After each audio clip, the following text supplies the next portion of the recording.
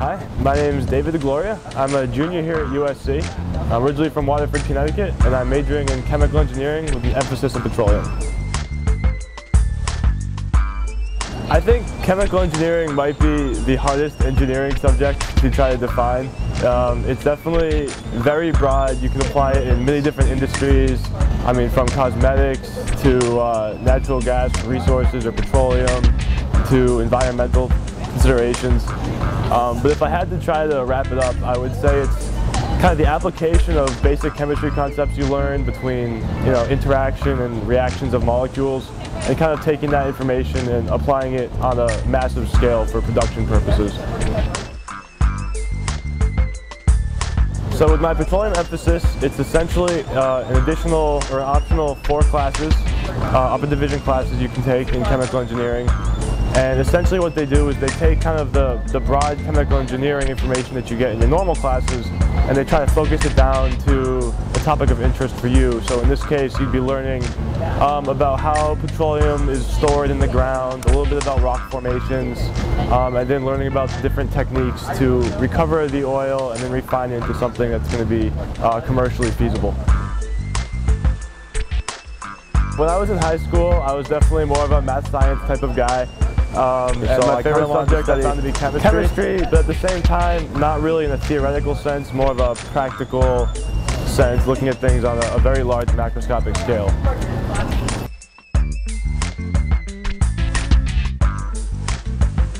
Actually just decided to take the petroleum emphasis um, my second semester of sophomore year. It was kind of a recent decision.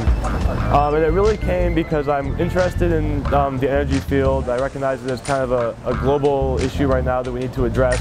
And uh, there's still a lot of improvements to be made. So it's, it's definitely a field where there's a lot of demand and it's very interesting.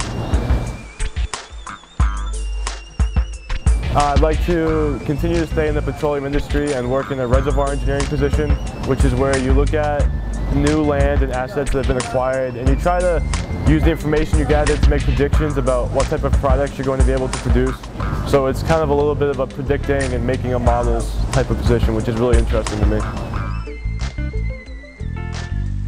This year I was um, stayed closely in tune. I checked the Viterbi website and uh, I was participating in the on-campus recruiting program at USC and I got a summer internship uh, at ExxonMobil. So I'm going to be down in Houston, Texas, hopefully doing reservoir engineering. So it should be a good chance to kind of get my feet wet and make sure that this is what I want to do.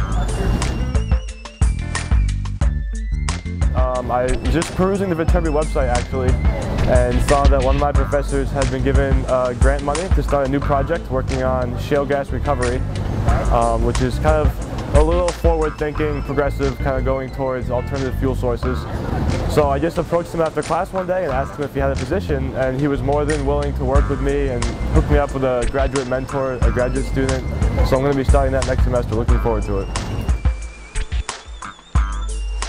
Main activity that I'm involved in, in terms of student groups, is the Society of Petroleum Engineers, or SPE as we call it. Uh, I am acting as the treasurer and webmaster.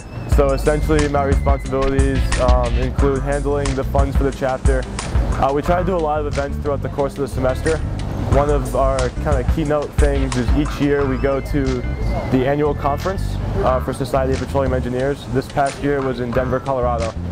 So we try to um, use the money that we get from the national chapter and sponsor student trips there so they can hopefully you know, meet and greet some executives and learn about new technologies that are being applied in the field.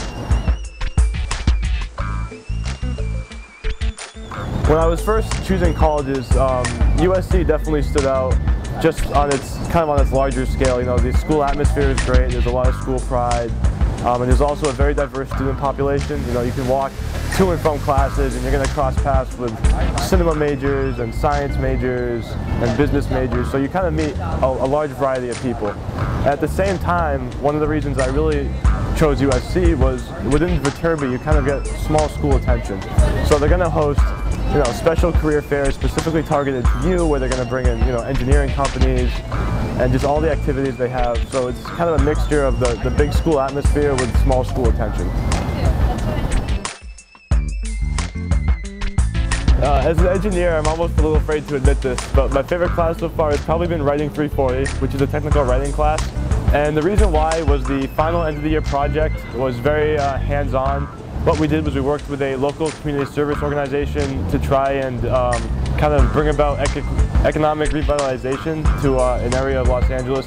So for the final project, we had to develop a slideshow and it was essentially like a sales pitch to these, these organization representatives, trying to tell them why your idea was going to help out the area. So it was uh, a very good class, and I think it definitely taught uh, effective communication.